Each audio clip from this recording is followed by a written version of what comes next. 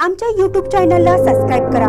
महानकारी news subscribe करा आणि notification on करा. नोटिफिकेशन ऑन केल्यामुळे आमचे अपडेट आपल्यापर्यंत सतत पोहोचेल. चे सार्वजनिक बांधकाम मंत्री म- महादेव अप्पा हे सीमा भागात काल आले होते. आणि त्यांनी पत्रकारांशी जे गप्पा गोष्टी केल्या यावेळी ते म्हणाले की यावेळी कर्नाटकात कसलीही लढाई होऊन दे कसलाही संघर्ष होऊन दे राजकीय संघर्ष यामध्ये काँग्रेसच विजयी होणार.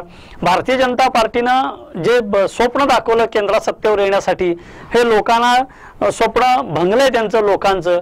आणि त्यांनी जी वचनं दिली ती पूर्णपणे धुळीला मिळालेली आहेत. त्यामुळे कर्नाटकात यंदा काँग्रेसच सत्तेवर येणार असं ते स्पष्टपणे म्हणाले. महाराष्ट्राच्या सीमेवर शिरोळ तालुक्याच्या काही अंतरावर नदीच्या पलीकडच्या बाजूला कल्लोळ आणि यड्डोर या दोन दरम्यान गावादरम्यानच्या धरणाच्या पायाभरणीच्या शुभारंभासाठी कर्नाटकचे मोठे मंत्री बा- बांधकाम सार्वजनिक मंत्री एच सी महादेवप्पा हे आले होते. त्यांचं खूप मोठं राजकीय वजन आहे कर्नाटकमध्ये. त्यांच्या सभा खूप मोठ्या प्रमाणावर होतात. आणि त्याने आल्यानंतर एक भाकीत केलंय पुन्हा इथं. की यावेळेला काँग्रेसची सत्ता येणार. विशेषतः निपाणी मतदारसंघाकडेही त्यांनी बोर्ड दाखवला आहे. निपाणी मतदारसंघामध्ये जी विकास कामं झाली त्या विकास कामाला निधी पक्ष गट तट न मानता काँग्रेसच्या सरकारनं मुख्यमंत्र्यांनी दिला आहे. हे लोकांनाही लक्षात आहे. त्यामुळं सीमा भागातल्या विशेषतः बेळगाव जिल्ह्यामध्ये सगळ्यात जास्त जागा आहेत.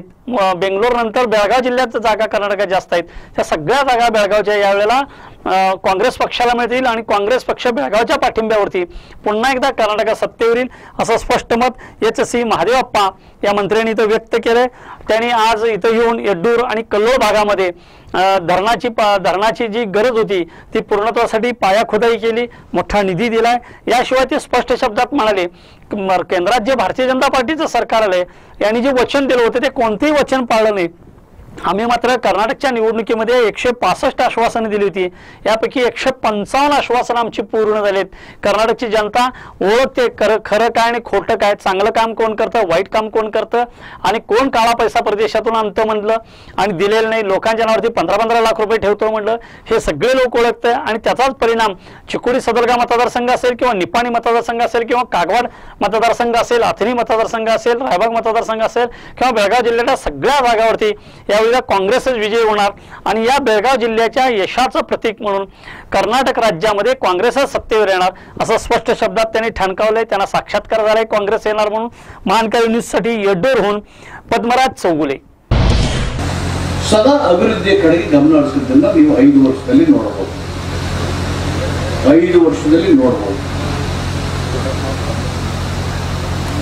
ಸಿದ್ದರಾಮಯ್ಯನವರು ಮತ್ತು ಕಾಂಗ್ರೆಸ್ ಪಾರ್ಟಿ ಇದು ಒಂದು ಅಭಿವೃದ್ಧಿ ಕಾರ್ಯಕ್ರಮ. ಅಭಿವೃದ್ಧಿ ಮಾಡ್ತಾ ಮಾಡ್ತಾನೆ ಜನರಿಗೆ ನಾವೇನು ಹೇಳಿದ್ವಿ? ತಾವು ಮಾಡಿದ ಆಶೀರ್ವಾದಕ್ಕೆ ಮತ್ತು ಪುನಃ ಇಷ್ಟೆಲ್ಲ ಮಾಡಿದ್ಮೇಲೆ ತಾವು ಮುಂದೆ ಏನು ಮಾಡಬೇಕು ಅಂತ ಮನವಿ ಮಾಡೋದು ಪ್ರಜಾಪ್ರಭುತ್ವದಲ್ಲಿ ಅದರ ಕರ್ತವ್ಯ. ಆದರೆ ವಿರೋಧ ಪಕ್ಷಗಳು ವಿರೋಧ ಮಾಡೋದಕ್ಕೆ ಮಾತಾಡಿದ್ರೆ ಪ್ರಜಾಪ್ರಭುತ್ವದಲ್ಲಿ ಅದಕ್ಕೆ ಅಷ್ಟು ಮೌಲ್ಯ ಸಿಗಲಾರದು. ಒಂದು ಯಶಸ್ವಿ ಪ್ರಜಾಪ್ರಭುತ್ವ ಕೆಲಸ ಮಾಡಬೇಕಾದ್ರೆ ಸಂವಿಧಾನದತ್ತವಾಗಿ ಹೇಗೆ ಮುಖ್ಯಮಂತ್ರಿ ಹುದ್ದೆ ಇದೆಯೋ, ಅದೇ ರೀತಿಯಲ್ಲಿ ವಿರೋಧ ಪಕ್ಷನೂ ಇದೆ. ವಿರೋಧ ಪಕ್ಷಗಳು ಜನರ ನೈಜವಾದಂಥ ಸಮಸ್ಯೆಗಳನ್ನ ರಚನಾತ್ಮಕವಾದಂಥ ಸಲಹೆಗಳನ್ನು ಪ್ರಗತಿಗೆ ಪೂರಕವಾದಂಥ ಮಾತುಗಳಿಗೆ